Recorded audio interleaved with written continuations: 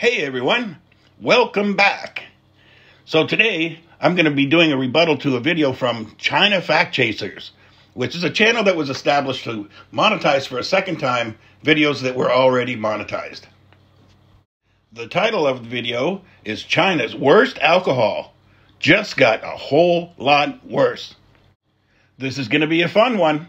In this episode, Sideburns and Lao Lies Guy prove just how little they know about China.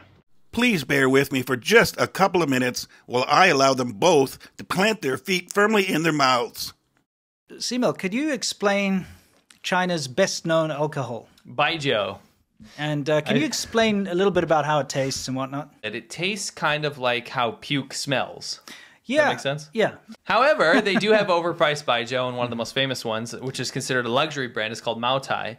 It still tastes like shit. It's terrible, But it's very expensive. but it's very expensive. And- So and, like you might think we're like talking down and exaggerating, had but listen, here's the thing: uh, we both used to drink a lot, Mm-hmm. still drink, not as much. So the most important feature of this is that you can't mix it with stuff. This is not like vodka or whiskey where you have like a whiskey sour or a vodka tonic or something like this. If you mix baijiu with anything, the taste just gets a little diluted, but then somehow becomes more vomit like. You know yes, what I mean? Yes. we we wanted to know what it really tastes like. You never will. Some uh, real Chinese people decided to film themselves tasting it. So Like not some, just the foreign white monkey shield. No, it's not. It's not all that hoo ha. So here we have two, two, um, you know, a middle-aged guy and his father, I guess, are trying it out for the Let's have first an time. honest reaction.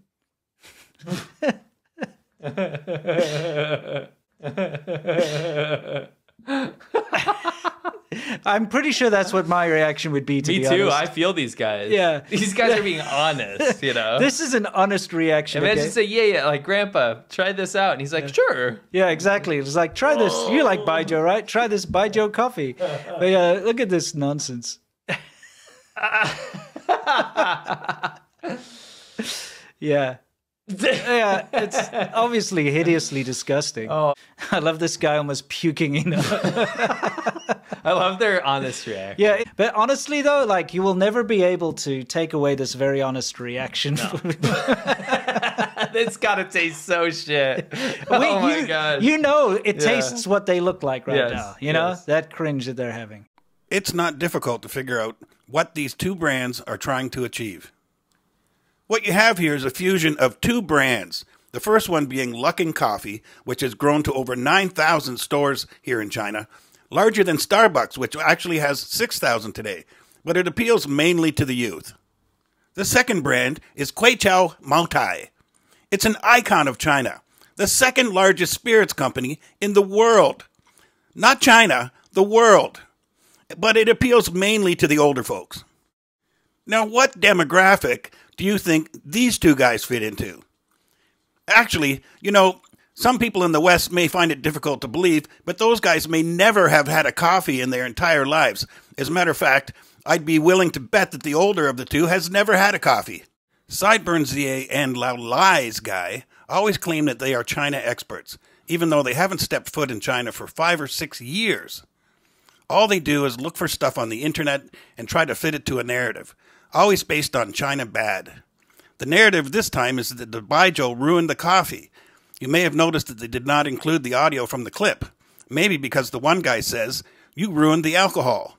I also noticed that they entirely cut off the end of the video where the guy gets up and says, I need to go and check my alcohol. I think you wasted my alcohol.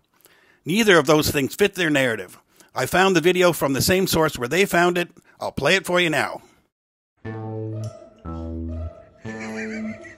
这什么玩意儿？这么这我以后酒味儿呢？